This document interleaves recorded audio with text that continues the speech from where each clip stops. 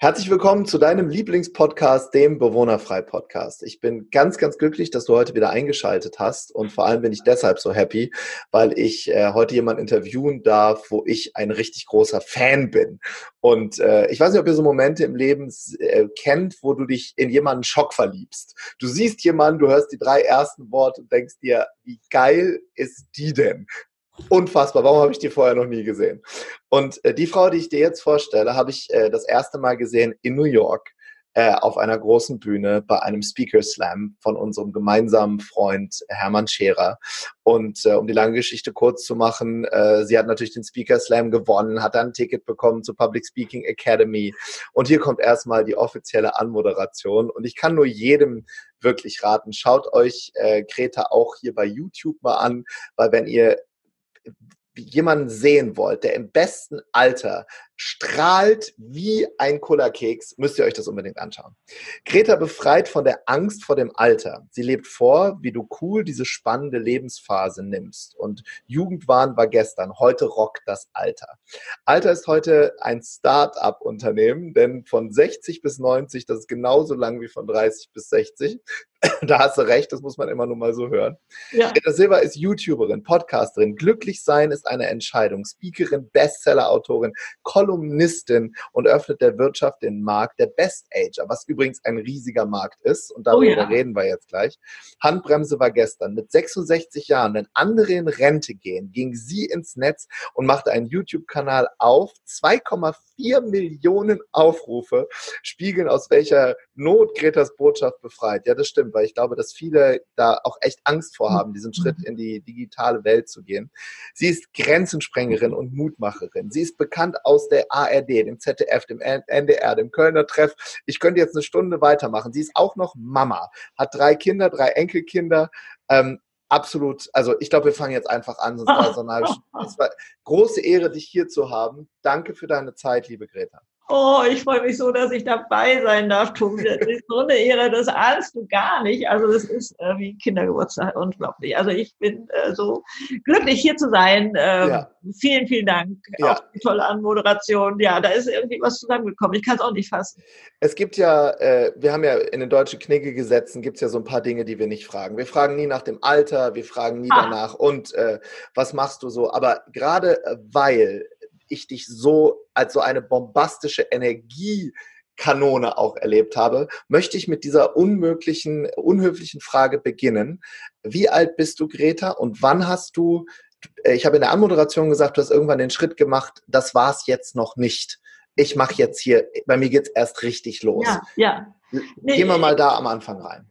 Ja, also ich, ich posaune ja mein Alter immer raus. Ich bin Deshalb frage ich. 40 geboren und äh, am Valentinstag jetzt 72 geworden. Also äh, unglaublich. Und ich habe ja das Gefühl, ich stehe in der Blütezeit meines Lebens. Ne? Ich habe mal mit 17 entschieden, ich werde 120 und äh, insofern äh, geht da noch unglaublich viel. Also ich bin nicht auf die Idee gekommen, dass da jetzt irgendwas vorbei sein soll. Das habe ich mal mit 17 geglaubt, dass der Spaß mhm. im Leben mit 35 schon vorbei ist. Ne? Also, ja. ähm, aber dass die Bilder nichts taugen und ich habe sie aus Freudenfeuer geschmissen. Also das ist schon lange passiert. Verstehst du ältere Menschen, die sagen, also hier das ganze Digitale, ich weiß nicht, was YouTube ist, ich gucke lieber äh, ZDF Morgenmagazin und äh, Fernsehgarten und das habe ich 30 Jahre schon gemacht und das mhm. alles, äh, alles ist neumodischer Quatsch. Also das dürfen die auch gerne sein, wenn die damit zufrieden sind. Also habe ich gar kein Problem mit. Aber wenn man das Gefühl hat, da geht noch was, wenn ich diese Intensität leben will, die ich mit 30 so toll fand, dann wird das schwer, wenn ich die nur absitze und äh, denke so ein bisschen Fernsehen und so ein bisschen, äh, was weiß ich, Golfen oder was man immer da noch macht, ja. ähm, das würde dieses Lebensgefühl geben. Also ich glaube, das funktioniert nicht, nicht 30 Jahre lang. Also äh, da eben zu gucken, wie kann ich das denn im Alter schaffen, mich jung zu fühlen? Was ist das denn? Das widerspricht sich doch eigentlich. Aber eigentlich ist Alter die beste Zeit, um jung zu sein, wenn man daran das mal fest zu, äh, macht. Was bedeutet das denn eigentlich? Das heißt ja. doch dieses Unbeschwerte, dieses Hey, was kostet die Welt? Und äh, keine Verantwortung mehr zu haben. Also man hat sie damals noch nicht und jetzt haben wir sie nicht mehr. Ja. Also das sind alles Momente, die heute lebbar sind. Denn ich behaupte ja. mal, ihr Jungen habt einfach doch noch eine ganz andere Last auf der Schulter liegen. Ne? Also ja. da ist noch viel mehr, was ihr da so, was, was ich erreichen wollt oder so und was euch auch Sorgen macht. Ne? Was mhm. weiß ich, mein Chef und hm, ist das alles so äh, richtig, wie es läuft oder so? Wie unbeschwert stehen die morgens auf, die 30-Jährigen oder die 40-Jährigen oder so? Und das oft, ist oft nicht unbeschwert. Nee. Mhm. Und man hat, also jedenfalls ging es mir so, glaube ich, in der Zeit oftmals gedacht, oh Mensch, das würde ich jetzt gerne auch machen, aber leider geht das nicht. Also was weiß ich, keine Zeit oder ich habe äh, die Verantwortung für die ganze Familie zu tragen, also ich kann das nicht einfach riskieren mhm. oder so. Aber jetzt kann man das. Und da mal wieder zu forschen und zu buddeln. Ähm, hey, du bezeichnest das ja als Start-up-Unternehmen. Ja. Ne? Also so ab Rente ist jetzt Start-up-Zeit. Ja. Ähm, was bedeutet das für dich? Sich reinhängen. Also ich vergleiche das immer gerne so mit dem Fahrrad. Wenn das über einen Bordstein will, dann kannst du auch nicht nur so ein bisschen mal so daran lang schrappen, dann mhm. du um. Also mal richtig Schwung holen und raus aus diesen eingefahrenen Bahnen, die mhm. uns ja eigentlich schon lange nicht mehr passen. Ne? Dass man, was ich glaube mit 40 fing das so bei mir an, dass ich dachte, oh ja, das kennen wir jetzt alle schon so, ne? Und wo ist denn das, äh, was da noch so kommen will oder so, mhm. ne? Ähm, und, und da, ähm, also ein Startup-Unternehmen für mich ist, Wochenende kennen wir nicht, also reinhängen, machen und plötzlich macht das alles so Spaß, weil es unter einem anderen Motto steht. Also mhm. das ist schon unglaublich schön. Also die Chance ist schon toll, die wir da haben. Wenn und, wir gleich ein bisschen auf deine auf deine Lebenslinie auch schauen, ja. gab es einen Punkt in deinem Leben, wo du dich, wo du dir selbst erlaubt hast, dich so zu zeigen, wie du bist, weil ich erlebe dich, du hast deinen ganz eigenen Modestil. Du bist mhm. ähm, unglaublich ja, energiegeladen. Und ich glaube, dass das ja in, in ganz vielen Menschen steckt. Die meisten trauen sich nur nicht. Die meisten trauen sich nicht, sondern werden immer angepasster. Und gab es so einen Moment in deinem Leben? Ja, du wärst, wärst erschrocken, wie angepasst ich war. Und ich fühlte mich dabei noch relativ glücklich.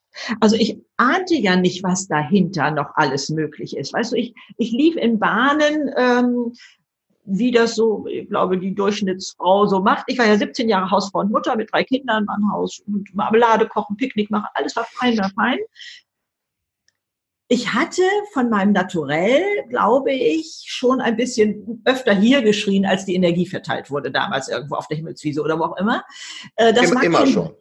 Ja, obwohl ich auch als Kind so schüchtern war, jedenfalls im, im äußeren Leben, dass mein Vater sich nicht anders zu helfen wusste. Ich komme ja wirklich vom Bauernhof ähm, und hat ist mit mir in so ein kleines Kaufhaus gefahren. Das muss man sich darf man nicht vergleichen mit einem heutigen Kaufhaus, aber es war, gab immerhin Fahrräder da und hat gesagt, du darfst kaufen, was du willst, ich bezahle das, aber du musst es selber der Verkäuferin sagen. Ich weiß okay. nicht, wie lange ich vor so einem Fahrrad gestanden habe und bin mit hängenden Schultern an meinem Vater, der sich unterhielt da mit der Verkäuferin, bin ich vorbei nach draußen gegangen. Ich habe es nicht geschafft. Also, okay, okay das gab es auch. Weil, weil du so ah, schüchtern gewesen bist. Ja, ne? also zu Hause habe ich die Klappe wohl aufgemacht, ne? aber sobald das irgendwo so im äußeren Rahmen war, war das nicht möglich für mich. Aber es hat sich ist jetzt heute anders, sagen wir es ja, mal so. Ja, das geht heute anders, ne? genau. Also das habe ich dann schon gelernt, aber dieses gesellschaftlich angepasst sein. Ich kann mich nicht erinnern, dass jemand das in Kindertagen zu mir gesagt hat. Überhaupt nicht. Mhm. Aber ich habe das automatisch gemacht. Das war in mir irgendwie es jedem recht machen wollen. Du hast es ja vorhin auch schon gesagt, dass Frauen da auch mal äh, ne, rauskommen sollen aus, aus dieser dienenden ähm, äh, Rolle vielleicht, wobei ich alles immer zusammen mhm, sehe, wie Klar. du auch, gehört alles zusammen und ist ganz toll. Nicht nur dienen, auch äh, nehmen, nee. ne? sonst ja, ist es ein genau. Ungleichgewicht. Das, ja, aber der Witz ist, wenn du, äh, wenn ich das so nennen darf, das, wofür ich früher gescholten wurde, dafür werde ich heute gefeiert. Mein extra an Energie. Wenn ich das mal rausgelassen habe oder so, kamen an vielen Stellen muss das sein? Muss das so viel sein? Äh, sei doch zufrieden mit dem, was da jetzt ist. Und ich sage, nein, ich will mehr Nähe, ich zum Beispiel. Ne? Also, Bei mir ganz genauso, ja. Ich glaube, ja, es geht also, vielen so und ähm, oder auch im Job natürlich. Ne? Also ich habe ja unter anderem auch äh, Hotels eingerichtet, äh, also wirklich von der Rohbauphase an. Der Bauleiter war der Meinung, hier auf meine Baustelle gehört keine Frau und die schon gar nicht. Mhm. Ne? Also was was da alles so gelaufen war. Also aber im Rückblick kann ich dem nur dankbar sein. Das hat mich stark gemacht. Ich habe Verbündete gefunden, die dann sagten, oh, hey, komm mal her, gib mir mal deinen Plan, ob der überhaupt mhm. äh, aktuelle ist oder sowas alles so. Also daraus ergibt sich dann immer sowas. Aber Ich erlebe viele ähm, Menschen in deinem Alter, die sagen, das ist jetzt nun mal so. Man, guck, man ist jetzt langsamer. Man, äh, und, und da sehe ich natürlich auch einige, ich bin jetzt mal ganz frech, weil es ja mein Podcast, ich kann eigentlich sagen, was ich will, die lassen sich dann auch gehen und äh, richtig sichtbar gehen. Die, die, die, die äh, machen sich nicht mehr schön für draußen, weil sie sagen, du, der Mann, der sitzt eh hier, seit 35 äh, Jahren habe ich eigentlich auch, weiß ich, gar keinen Bock mehr drauf. Mhm. Ähm, die, äh, ich habe dich das vorhin schon mal gefragt. Woher, woher nimmst du das, dass diese Phase einfach gar nicht kommt? Also ich äh, habe mir tatsächlich ähm, so ein bisschen auch auf die Fahne geschrieben, diesen Brentnerbeige durchaus mal auch eine Chance zu geben, sozusagen. Wenn die Leute sagen, Leute, dieses Modethema, ich bin so leid. Ich habe, also das hat, das war Terror in meinem Leben bislang. Mhm. Bei mir muss das jetzt in die Waschmaschine können und Ende aus. Ich streife durch Wälder, ich äh, bin hm. Vogelkundler oder was weiß ich und suche die letzte Orchidee im Wald oder sowas. Ist das für mich auch in Ordnung. Jack Wolfskin hält lange. ja, aber die, die Bandbreite heute ist so groß. Also was weiß ich, ich renne im Minirock rum, wenn ich da der Meinung bin, oder in, in Skinny Jeans oder so. Ja, das ist schon das Geilste. Du bist 72, sagst, ich mache Skinny Jeans ja, und Minirock. Ja, geil. Eigentlich nicht. Und ich wurde mal gefragt, ja, was sagen denn Ihre Nachbarn dazu? Da kam ich ins Grübeln und denke ich, was sollen die denn sagen? Die denken vermutlich, Mensch, Greta hat was Tolles vor. Was soll das denn sein? Es interessiert mich auch nicht mehr. Ich habe eine tolle Nachbarschaft sowieso, aber ähm, ne, also was, wir bauen da immer so unsere Tiger auf. Ne? Ja, in, in dem Moment, wo du da so rausgeplatzt bist, sag ja. ich mal, wie ist denn dein Umfeld damit umgegangen? Weil ich glaube, die Frage, die stelle ich natürlich 20-Jährigen, die jetzt erfolgreich sind, ja. die stelle ich YouTubern, die mit 16 sich aus einem Klassen aus einer Klassengemeinschaft heraustun und sagen, ich mache was Großes. Und die stelle ich jetzt dir, einer, einer, ja. einer, einer, einer Frau, die auf Bühnen steht, die andere begeistert. Mhm. Was sagt dein Umfeld auch von Gleichaltrigen? Wie, wie gehen die damit um? Also die gehen damit toll um. Also hm. das ist also gar keine Frage. Aber wie habe ich mich da selber befreien können? War ja die, der erste genau. von dir. Ne? Also es gab eben Brüche in meinem Leben. Also ich hatte den Supervater, der an mich glaubte, der erdreistete sich nur zu sterben innerhalb eines Tages, als ich 19 war. Der hat meine ganze Kindheit zerfetzt. Da kam erstmal Wut und Ohnmacht, also die ganze Gefühlspalette.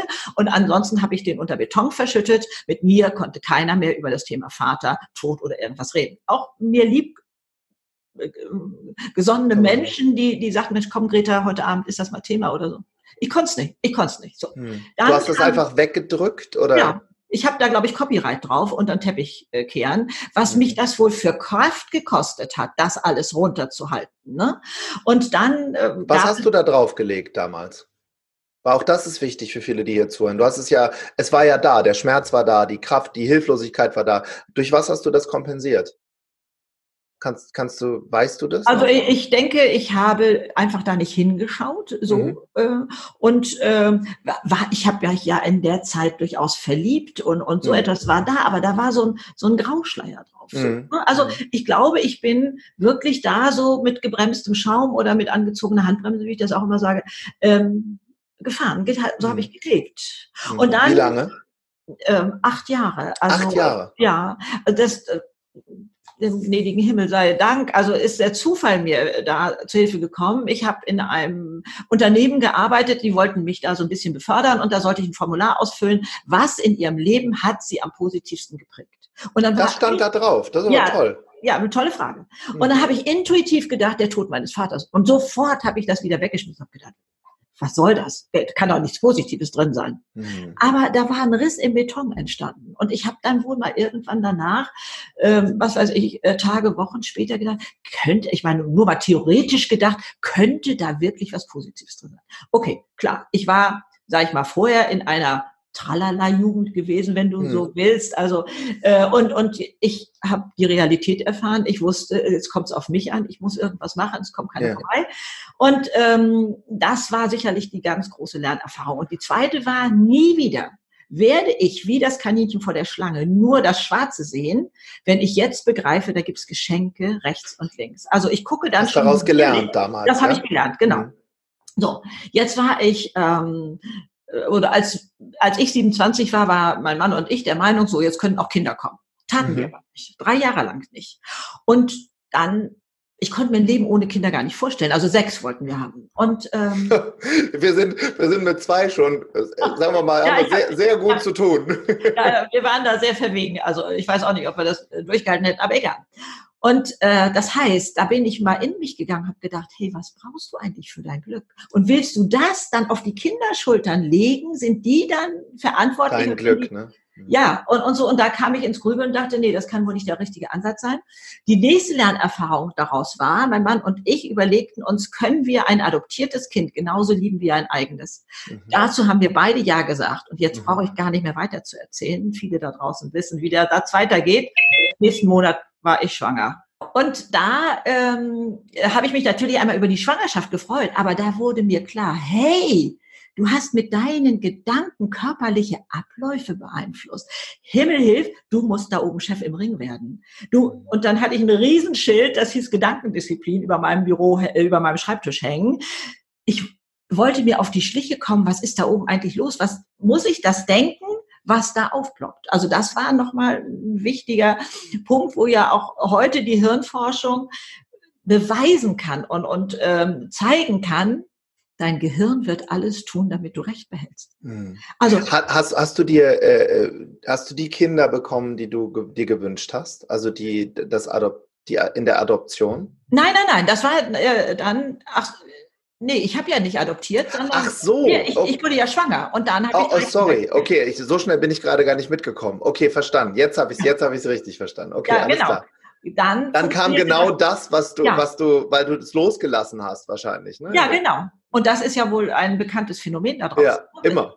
Ja, genau. Man kannte das schon, aber dass ich davon betroffen sei, war mir nicht bewusst. Also da habe ich begriffen, okay, hier oben muss ich Chef werden. Hm. Das war eine wichtige Sache. Und dann auch so um die 30 rum stellte ich fest, dass ich so Geheimverträge abgeschlossen hatte hinterm Rücken von Menschen, die da gar nichts von wussten. Also Gib mal ein Beispiel. Ich habe die für mein Glück zuständig ähm, erklärt und vor allen Dingen habe ich ihnen die Schuld in die Schuhe geschoben für mein Unglück. Wen zum Beispiel? Meinem Mann, meiner Mutter, meinen Geschwistern, meinen Freundinnen, die waren alle ähm, da involviert, so nach dem Motto, wenn mein Chef netter und mein Partner liebevoller wäre, dann wäre ich glücklich. Und dann wenn wir mehr Geld hätten, wenn wir in einem anderen Haus wohnen würden, wenn das ja, Auto so schöner wäre, genau. ne? wenn ja. wir endlich in Urlaub fahren, ja. Richtig, genau, diese ganze mhm. Leiste. Und dann habe ich ähm, äh, feststellen müssen, das fand ich bitter, die wissen das gar nicht zu schätzen, dass ich ihnen die Verantwortung übertragen habe. Ne, das war doch großzügig von mir, dass ich Sehr. das so gemacht habe. Aber nein, die begriffen das gar nicht. Die hatten ganz im Gegenteil noch mit mir Verträge laufen, wo ich für deren Glück zuständig sein sollte. Und da habe ich gedacht, irgendwann läuft hier falsch.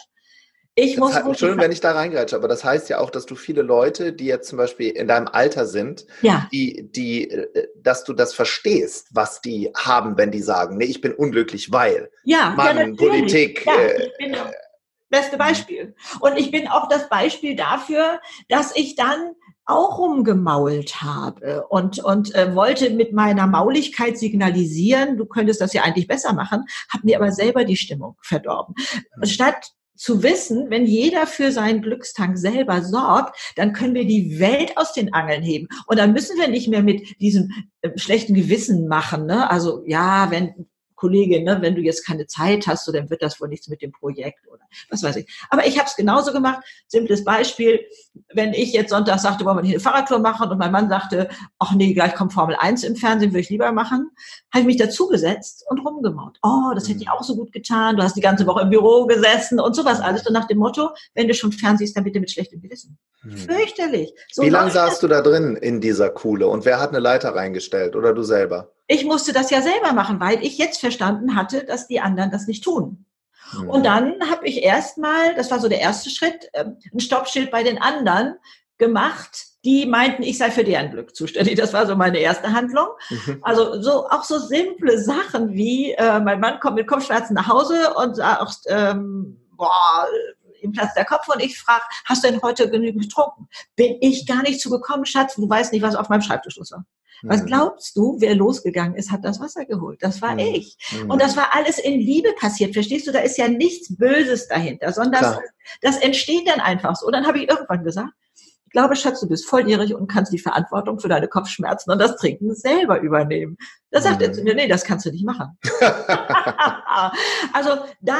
Das fand er nicht so gut, oder? Nee, das fand er gar nicht so gut. Nee. Dabei ist das so, wie im Flugzeug. Du bist ja der Experte. Erst die Sauerstoffmaske selber aufsetzen und dann ja. ist man erst in der Lage, anderen ja. zu helfen. So wichtig, was du gerade sagst. Erst mal selber helfen, dann ja. anderen helfen. Ja, und dann mal zu gucken, was brauche ich denn heute für den Tag? Wenn der andere das schon nicht macht und fragt, Greta, was soll ich dir in den Kalender eintragen? Was müsst du heute Abend machen oder nächste Woche oder so? Hm. Dann musst du ja mal selber hingucken.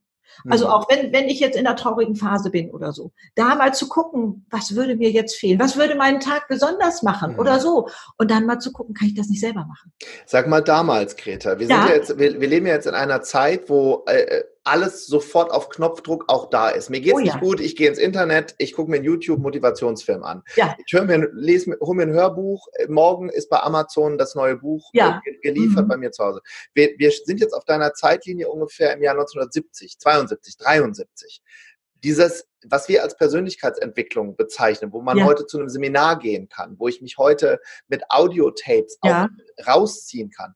Gab es sowas damals? Nein, ich bin ja noch mit, äh, mit, mit ohne Handy groß geworden und so etwas. Also es gab es alles nicht. Es gab Bücher. Ich habe ja Bücher gelesen und damit andere Leben gelebt.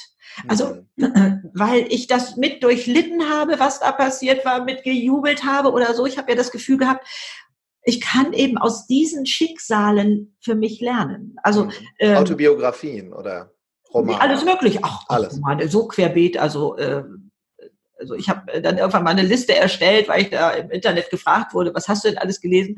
Und dann bin ich mal an den Bücherschrank gegangen. Aber ich war damals auch Bücherhallenleser. Das ist eine ganz andere Freiheit. Also meine Kinder waren das, weil das auch also Leseratten waren und so. Und dann, äh, dann nimmt man sich Bücher mit, die man sich nicht kauft. Gab es ein Buch, was du, was du, ähm, wo du sagst, das hat wirklich in mir was ausgelöst? Oh, das waren so viele.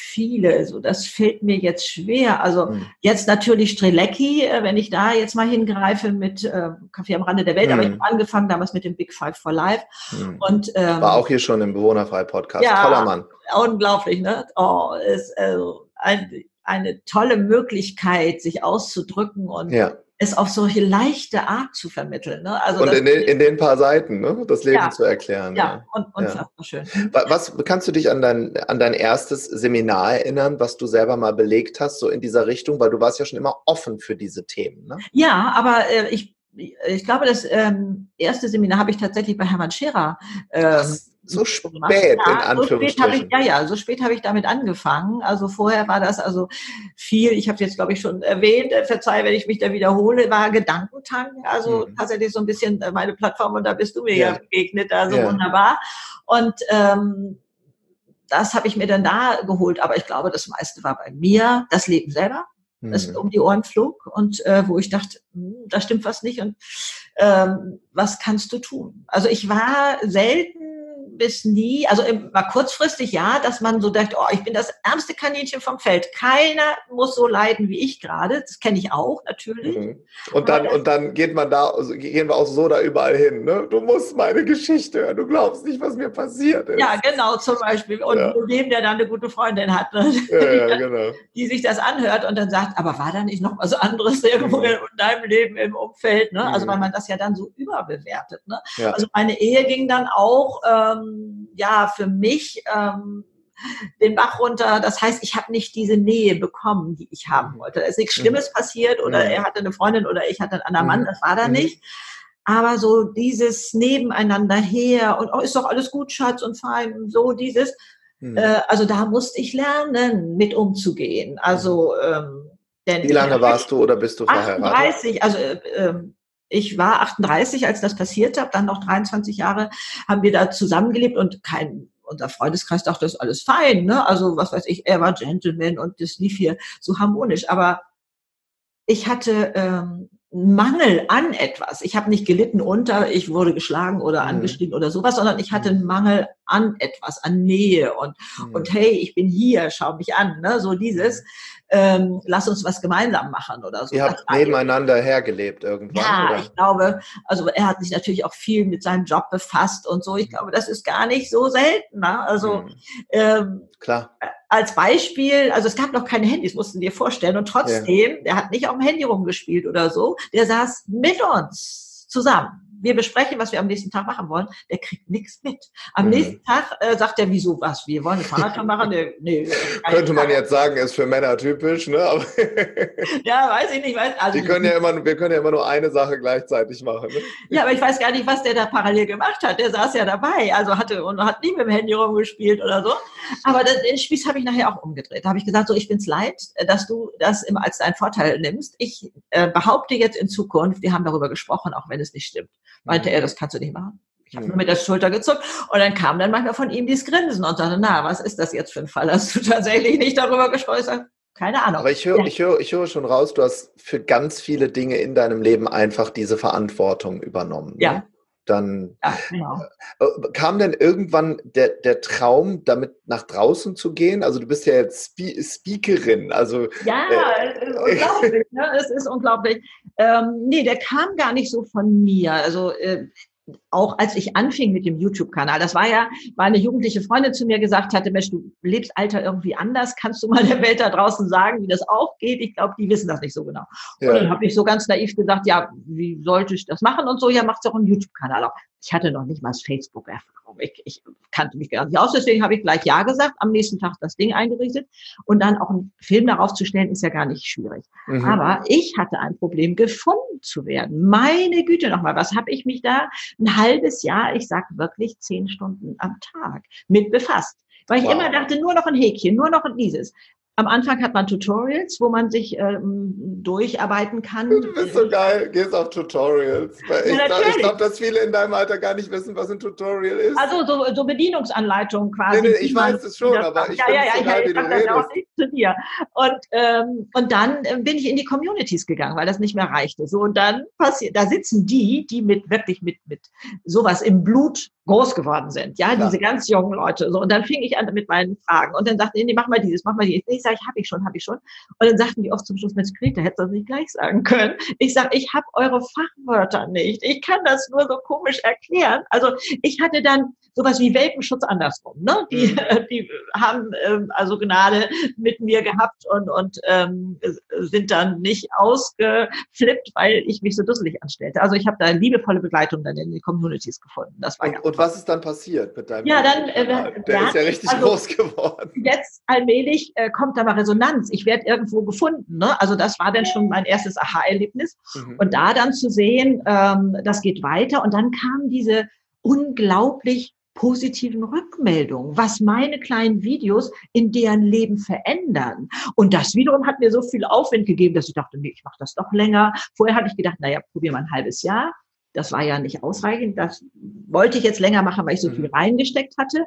Und dann kriegte das so eine Eigenenergie, so eine Fahrt nahm das auf, weil ich dachte, was, das kann ich verändern da draußen. Das berührte mich unglaublich. Ja, und dann kam die erste Anfrage äh, nach Büchern. Das heißt, äh, bevor ich überhaupt irgendein Signal gesetzt hatte, dass ich ein Manuskript schreibe, haben sich schon drei Verlage bei mir beworben. Das Thema Alter war dran.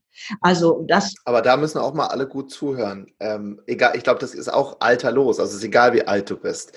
Du hast erstmal deinen Keller ausgehoben, erstmal ja. geleistet, erst dich da eingefrickelt. Ja. Und, und, und, und, dann kamen irgendwann die Verlage, weil du halt ready warst. Ne? Ja, nach drei Jahren war das ja. Ne? Also so lange da dran zu bleiben, im Rückblick denke ich, Hut ab. Ich habe es damals nicht so empfunden. Die Neugier treibt mich an. Ich bin ja wirklich so neugierig auf das Leben und hm. so begeisterungsfähig. Also es, es, ich schreie überall hier, wenn da wieder was Neues kommt oder so. Das ist schon. Ja, ich habe immer noch diese, diesen Bild, dieses Bild im Kopf. Wir haben ja äh, so eine ganz wilde Nacht bei der Public Speaking ja, Academy, ja, genau. die, die, auch wirklich äh, körperlich ans, ans äh, Äußerste geht. Ja, ja. Du hast das bis zum Ende durchgezogen, währenddessen der ein oder andere 20-Jährige keuchend in der Ecke stand. Ne? Das ist schon du, da phänomenal. Du noch mal ein Thema an, wenn ich da jetzt ganz mal rausspringen darf. Ja, also wenn ältere Leute mit jüngeren Leuten irgendwas, was weiß ich, ob im Verein oder sonst wo, vorbereiten, machen oder so. Es sind nicht die Alten, die als Erste jammern. Hm. Es, wir wissen einfach, wir haben noch Energie. Wir mussten es im Leben beweisen, dass wir. Ne, wir konnten unsere kranken Kinder nicht ins Bücherregal stellen oder was weiß ich. Völlig egal. Also wir haben da wirklich ein anderes Selbstbewusstsein. Darf ich da mal ganz kurz sagen, diese Klar. Lebensleistung ist in keinem Alter im Bewusstsein. Also ich gehe ehrenamtlich mit ähm, Musikstudenten in Altersheimen und äh, erzähle ihnen, was sie da so erwartet. Mhm. Erstens sage ich ihnen, da sitzt kein alter Mensch, da sitzt das ganze Leben. Stellt euch das vor, wie beim Baum, durchschneiden, dann siehst du das. Aber, und jetzt schocke ich die richtig, da sitzt die Generation, die euer Handy erfunden hat. Da sitzt die Generation, die das deutsche Wirtschaftswunder erarbeitet hat, von dem wir alle jetzt noch profitieren. Mhm. Und übrigens ist das auch die Generation, die zum Mond geflogen ist. Mhm. Dann geht da erstmal das Nachrechnen los und die sagen, es kann doch nicht wahr sein. Die waren vorher auch liebevoll mit den Alten, gar kein Thema. Aber das ist ihnen nicht Plötzlich bewusst. Ist die Perspektive gewechselt. Genau, und das ist in keinem Alter bewusst und auch den Alten nicht. Und das ist auch mir jetzt so ein Bedürfnis geworden, mal zu sagen, seid euch mal bewusst, was, was ihr, ihr alles geleistet habt. habt. Ja. Ihr ja. habt ähm, emotionales Grundeinkommen, das kann einen keiner nehmen. Ja. Denn wir Alten klappen ja auch schon die Bibel zu, wenn es heißt, ich brauche einen Rollator. Jetzt bin ich alt, ne? da kommt nichts, also jetzt muss ich ja gar nichts mehr versuchen. Hey, und, und ein Treppenlift führt auch nicht direkt in den Sarg. Der ist wie ein Ferrari, der fährt von A nach B und der Treppenlift fährt von oben nach unten. Mehr Unterschied haben wir da nicht. Das ist ein Helferlein. Und ja dann auch bei meinen Lesungen frage ich dann manchmal so, stellt euch mal gerade so einen 90-Jährigen vor, wie sieht der gerade aus, wie habt ihr den so vor Augen? Und dann frage ich, hey, sieht der aus wie Helmut Schmidt? Hm. Im Rollstuhl? Hm. Das hat, den Rollstuhl hat man doch gar nicht wahrgenommen. Hm. Der, der Mann blieb, wer er ist, wie er, er war und, und hatte eine Nachricht, er hatte eine Botschaft, er war doch trotzdem noch weltweit hm. gefragter äh, Mensch. Ja. Und sich dessen mal bewusst zu sein, das spielt keine Rolle, was ich da brauche an Helferlein. Es macht uns nichts aus. Also da bin ich auch gerade noch so mit unterwegs, sich mal bewusst ja, das zu sein. Ist eine, das ist eine riesen Message, ne, die du da ja, weitergibst, ja. Ja, auch an euer Alter. Ich meine, wenn ihr einmal zurückguckt, wie wart ihr mit 20? Ne, ich meine, du ja nun ganz speziell, weil du ja der erste Steil gegangen bist, aber auch der Normalmensch, wenn der da zurückguckt, der konnte das noch nicht mit 20 so erfassen. Mhm. Er hatte noch nicht diesen Tiefgang, diese worauf er aufbauen konnte, diese Kostbarkeit. Also sich dessen bewusst zu sein in jedem ja, Alter. Und das darf auch nicht verloren gehen. Ne? Ich habe hab zum Beispiel meinen Papa auch interviewt für den Podcast. Ja. Äh, Papa ist über 80, der mhm. hat die mhm. Kriegszeit als Kind erlebt. Das ja. darf man alles nicht vergessen. Nein. Ne? Du bist in der Nachkriegszeit ist aufgewachsen. Richtig. Und das ist die neue Welle. Deswegen, also ich bin ja drei Jahre nach Kriegsende, 1948 ja. geworden, und ähm, zwei Jahre vom Wirtschaftswunder. Weißt du, und da ging es immer nur, oh, meine Kinder sollen es mal besser haben als wir und es wird immer besser, immer toller. Und diese Einstellung hängst du nicht mit 60 an Nagel. Hm. So, so gehe ich immer noch durchs Leben. Es wird immer toller. Und ich feiere jeden Geburtstag und sage, Chaka, dieses kommende Jahr wird noch toller als vergangene. Und ist hm. ja tatsächlich so bei mir. ja, das, bei dir ist es äh, wirklich so. Und da, da, will ich jetzt auch noch mal äh, hinspulen. Ja. Ähm, das Ganze hat dann ja wirklich so einen Wind genommen. Ne? Also du hast, ja. die, du hast den YouTube-Kanal gemacht, hast dann, bist dann von Verlagen kontaktiert ja, worden und bitte. dann kam, kamen die Medien ja. da drauf. Äh, äh wie war dein erster Fernsehauftritt? Wie also ist das da plötzlich zu sitzen? Also da war es tatsächlich äh, zu dem Zeitpunkt nur der YouTube-Kanal. Das war ja auch ungewöhnlich. So eine alte auf äh, YouTube äh, gab es in Deutschland noch nicht wirklich so. Und deswegen war ich hier in so einer ähm, NDR-Talkshow hier oben mhm. im Norden. Da ist ja auch Fernsehen, NDR. ja, natürlich, ja, ja, klar, aber so regional. Also ja, ja. Äh, und da habe ich dann auch erwähnt, dass ich ähm, äh, ein Manuskript gerade schreibe und dann kamen noch weitere drei Verlage dazu. Aber wie war das? Also ich weiß, also ich, vielleicht müsste es mir auch ein bisschen unangenehm sein, aber ich gehe in jede Talkshow rein und denke, was habe ich denn zu verlieren? Hm. Also ich, ich gucke darum, ich gucke mir die Leute an, manche lernen noch ihr Manuskript da auswendig oder was sie sich da vorgenommen haben. Und ich tanze da durch die Gegend und denke, hey, klasse, du bist dabei, der Hammer. Ja. Und feier mich da ab und ich, ich gehe da mit einer Leichtigkeit durch, die vielleicht ein bisschen verwegen, vielleicht auch naiv ist, ich weiß es nicht, aber ich genieße das, ich genieße das von der ersten. Großartig. Wo, ja. wo, wo geht's denn hin? Ich meine, du bist ja jetzt auch quasi jetzt, äh, zumindest als Speakerin und Autorin ja. und so, du bist jetzt im Olymp oder kommen, kommen da noch Sachen? Ja, du, das hätte ich doch vor fünf Jahren alles nicht für möglich gehalten. Das heißt, ich habe gar keine richtigen Ziele. Ich möchte die Wachsamkeit behalten, zuzugreifen, wenn da was vorbeikommt. Aber Toller Satz. Wachsamkeit behalten, zuzugreifen, wenn was vorbeikommt. Ja, ja, Schön. genau. Und nicht nur in die Hosentasche zu stecken oder in den Keller zu legen, sondern mhm. was daraus zu machen. Da, mhm. also man, ja, die hat ja Glück gehabt. Ne? Also äh, wie du vielleicht auch manchmal sagst, da gibt es eben so Menschen, ja, Tobi, du kannst das, aber ich nicht oder so. Mhm. Ja, was bedeutet denn dieses Glück, was darunter fällt? Da muss man doch irgendwas mitmachen. Also mhm. äh, ich kann dem nachgucken und denken, ja, da ist eine Sternschnuppe gerade vorbeigeflogen oder so.